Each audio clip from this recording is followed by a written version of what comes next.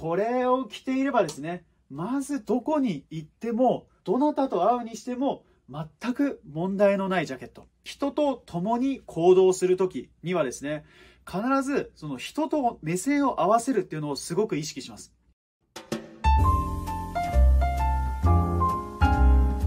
こんにちは、ベルの竹内です。今日は冬のデート、ジャケットスタイルはこう合わせてくださいということをお話ししたいと思います。どうぞよろしくお願いいたします。女性とデートの約束ができましたけれども、一体どういう洋服を選んでいけばいいんだろうというふうに迷われる方は多いと思います。私は今回ですねこの動画でカジュアルなスタイルではなくもうジャケットスタイルでデートに行くんでしたらこういう格好がいいんではないかということを私なりに考えたので1本の動画にしてお話ししたいと思っております。この動画を最後までご覧になっていただけたら、まあ、程よいカジュアルさで小綺麗なジャケットスタイルを楽しむことができるというような内容にしておりますのでぜひ興味のある方は最後までご覧いただけたら幸いですこのようにこのチャンネルではメンズファッションのスーツスタイルをかっこよく着こなしたいという方に向けて発信しておりますので、ぜひ興味のある方はチャンネル登録をお願いいたします。それでは早速お話ししていきたいんですけれども、まずこれはですね、こう皆様にこうお断りしたいんですけれども、まあ、今回このデートっていうのは、やっぱりこうシチュエーションであったりとか、どなたとどういうふうに過ごすかっていうことによって、全く提案するものが変わってしまいます。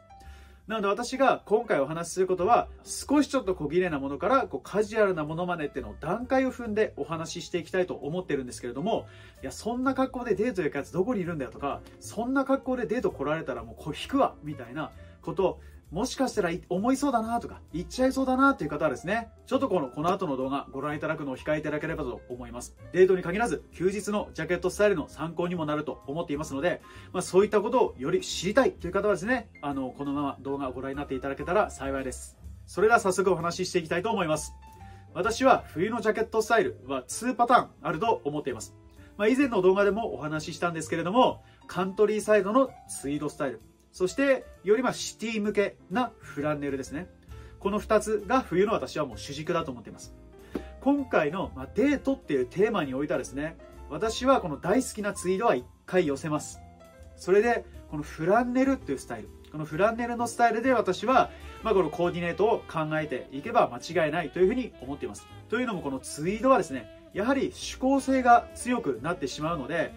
あまりこの洋服を見慣れてない女性の方であったりとかこういう質実剛健なお洋服とかあまり知らない方がですねこう初めてこのツイードジャケットを着てるもう男性と出会うとですねちょっとこう萎縮してしまうというかあちょっと私とは遠い人なのかもしれないというふうに思わせてしまうかもしれないからです。なので休日のデートジャケットスタイルとして選ぶのであれば私はツイードではなくフランネルをおすすめします。ではどういうジャケットを選べばいいんだろうということですけれども私はもうこれは一つもう間違いのないアイテムがあります。もうそれはですねもう言わずもがなもうネイビーのフランネルジャケットです。もうこれを着ていればですねまずどこに行ってもどなたと会うにしても全く問題のないジャケット。当たり障りがない本当にベーシックでもう人を選ばないもう TPO 全てに私はこう適用できるジャケットだと思っています。なので一つ間違いないものを選ぶとしたら私はこのネイビーのフランネルジャケットというのをおすすめします。ではこのネイビーのフランネルジャケット以外でどういう色がいいのかと言いますと私が今日着ているようなこれは少しこうワインレッドというかボルドーの色が入っているような色ですけれども、まあ、こういった色ですとかブラウン系であったりとかそういった、まあ、少しこう華やかな色。普段会社とかではあまり着ないだろうなっていうような色。そういったものもあるとぐっとこうより華やかさが出て雰囲気があるので私はそういう色を選んでいただいてもいいと思います。なので例えばこういうイメージですね。こういったブラウンのフランネルのジャケットだったりとかまあこういう少し明るめなブルーのジャケット。これも私はすごく好きな雰囲気なんですけれどもこの辺の色になってしまうとですねかなり人を選んでしまいます。私はこのデートに限らずですね、人と共に行動するときにはですね、必ずその人と目線を合わせるっていうのをすごく意識します。いや、もう自分は着たい服を着るんだっていうのはもちろんいいんですけれども、私はやはり今日はどういう人と会うんだろう。どういうところに行くんだろう。そういう場面を全て想像してですね、まあ、じゃあ今日はこういう人に会うから、あまりかしこまった格好をしない方がいいなとか、なので街で言うと、例えば銀座に行くのか、少しちょっと郊外に行くのか、ね、全く装いが変わってしまいます。まあ、もう一貫して私はこのスタイルだっていうのも決して悪くはないんですけれども私はその街であったり人に合わせて洋服を選んでいくっていうのもすごいまあ私はスマートな選択だと思いますのでこれはやっぱり人に合わせてですねこのぐらいの色はすごく自分は好きだしいいんだけれども今日出会う人にとっては少しちょっとこうファーストインプレッションだったりとかちょっと華やかすぎるかなと思う場合はこれは控えてですね。やっぱりこういったネイビーだったりとか落ち着いた色味のジャケットというのを選ばれると間違いがないです。次に中に合わせるシャツですけれどもシャツもですね例えば普段お仕事で着ているような白であったりとかサックスブルーこの2色を使うとですねあお仕事帰りですか？というふうに思われてしまうかもしれません。まあ本当にそのまま仕事帰りに夜そのままデートに行くんでしたらその格好でもいいんですけれどもデートに行くための服装を選ぶでしたら私はその2色ではない他の色を選んでもいいと思います。なのでお色で言うとこういったピンクであったりとかラベンダーこういった色味はですね普段ビジネスシーンではあまりちょっとこう着ることは難しいですけれどもまあそういうと人と会う場面であったりとかそういう休日にさらっと着る分にはこういったものはすごく華やかさが出るのでまあ、ラベンダーだったりとかサーモンピンクこういった色味も私は選択肢に入れてもいいと思います。あとは柄物ですね。チェックではなくまあ、こういったストライプの方がスタイリッシュさがあって私は好感が持てると思います。私もチェックのシャツは大好きなんですけれどもちょっとこう雰囲気としては、まあ、華やかさっていうよりかはよりこう好きな人向けっていう柄だと私は思うので、まあ、こういったストライプだったりした方がまあ、当たり障りなくこう雰囲気が出るのでこういったものを選んでいただければ間違いないと思います。この柄もですね普段仕事ではあんまり着ることができないような少しこう指向性があるような柄のものを選ぶと華やかさが出てそういうシーンではうまく使えるのでよろしいかと私は思います。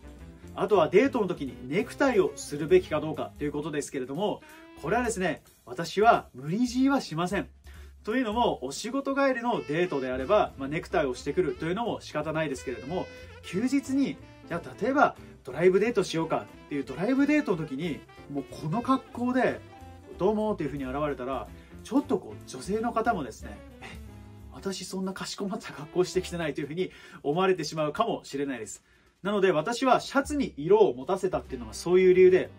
この辺りの色であったりとか柄であればノーネクタイでコーディネートを合わせても、まあ、華やかさが出るので私はこういったものにこういうシンプルなジャケットを合わせるっていうのはまず一つの成功法として間違いなく私はお勧めできるコーディネートです。いやそれでも私はネクタイをつけたいという素敵なお方には私がおすすめしたいネクタイは冬はやはりウールタイに限ります。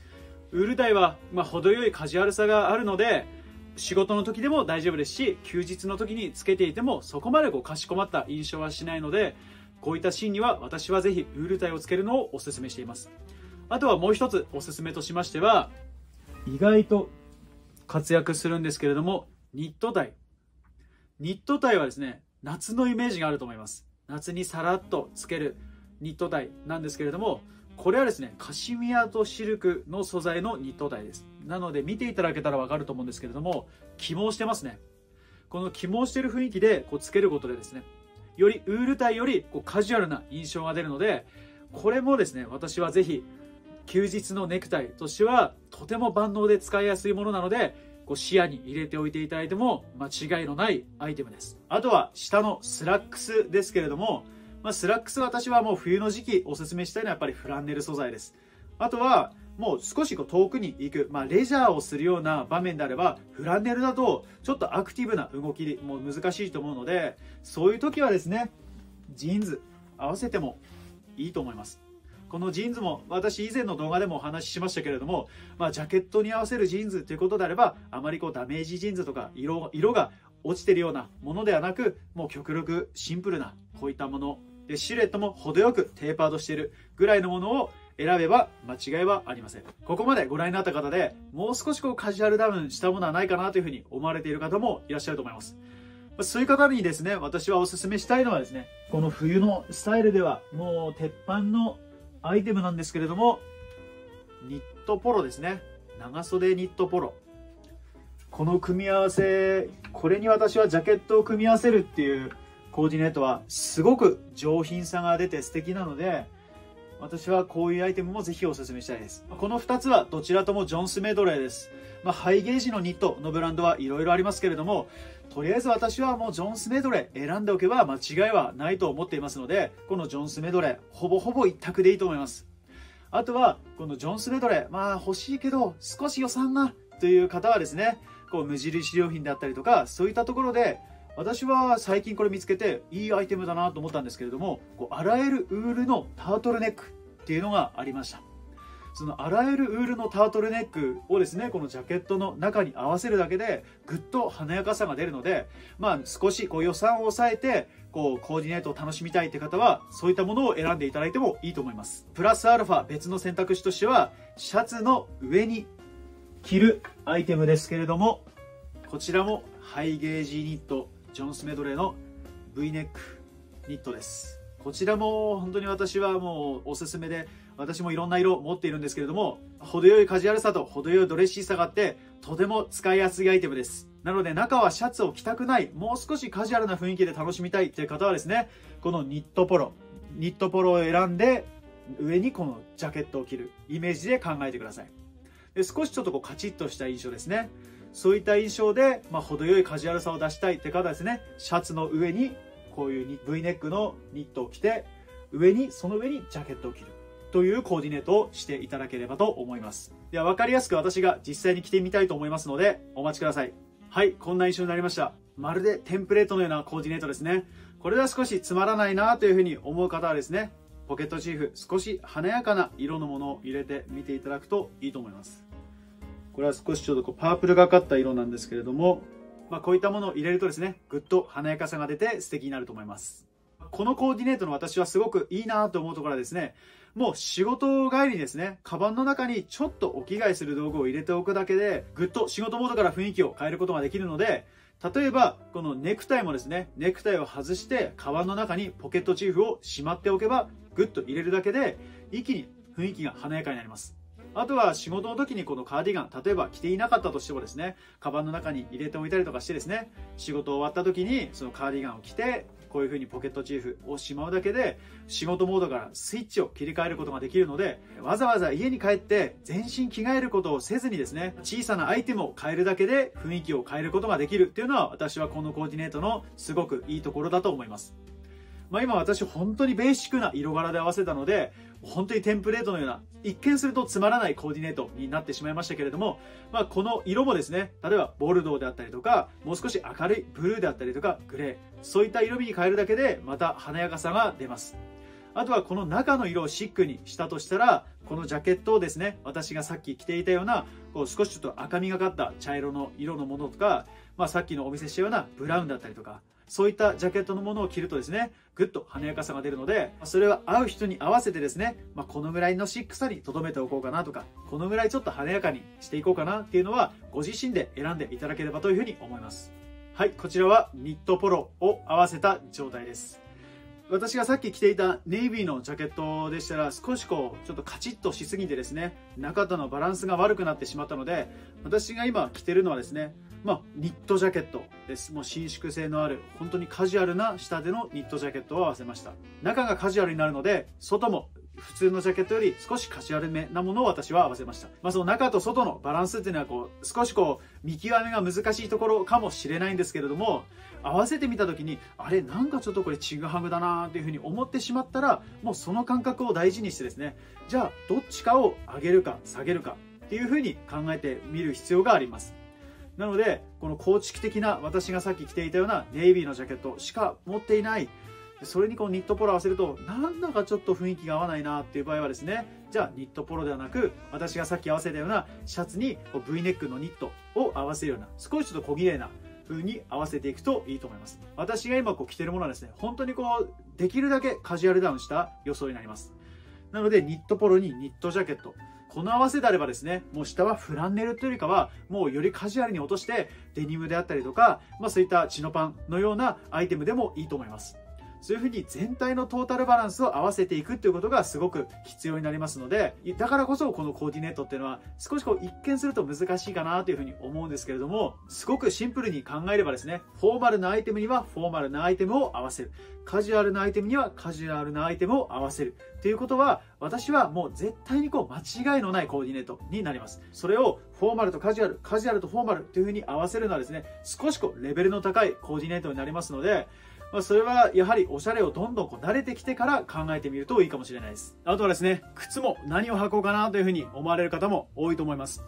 私がおすすめしたいのはですね、やはりこう紐靴というよりかはローファーを履いていただきたいというふうに思います。まあ、ローファーもいろいろ種類はありますけれども、基本的にもうシンプルなものを選んでいただければ、私は外れることはないと思います。このブランドでなくてはいけないとか、この形でなくてはいけないとか、そういうことには縛られずに、紐靴ではなく、ローファーぐらい少しカジュアルダウンするっていうぐらいの方が、私はこういう雰囲気にはぴったり合うと思います。あとはローファー以外の選択肢でもう少しカジュアルにしたいという方でしたらスニーカーという選択肢もあると思います。スニーカーもし選んでいただくとしたら私のおすすめとしてはですね、スポーツブランドのスニーカーというよりかはジャーマントレーナーだったりとかスペルガというようなもうクラシックなローテクなスニーカーを履いていただきたいというふうに思います。あとは冬はやはりジャケットだけだと寒いのでコートも必要になってくると思います。まあ、コートもですね、まあ、チェスターフィールドコートという選択肢もありますし、まあ、チェスターフィールドコートだとまあ、少しちょっとこうかっこよすぎるかなっていう場合でしたら少しこうカジュアルダウンに落としていってもいいと思います。まあ、合わせるコータですね、私はスーツにこういうことを合わせてはいけないっていうふうにはお話ししてるんですけれども、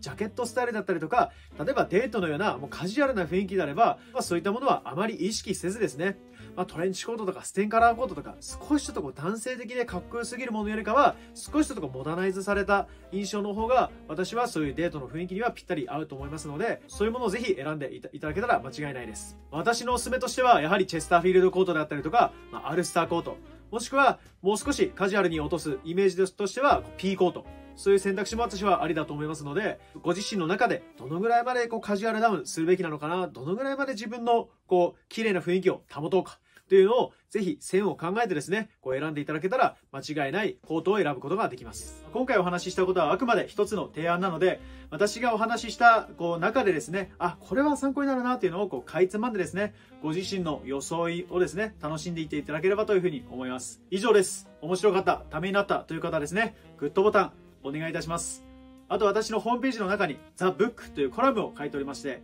その中で私の洋服に対する考え方だったりとか、洋服の歴史から基づいた正しい着方などがいろいろ書いておりますので、洋服のことをより詳しく知りたいという方はですね、概要欄に貼っておきますので、ご覧になっていただけたら幸いです。それではまたアップいたしますので、よろしくお願いいたします。どうも、ありがとうございました。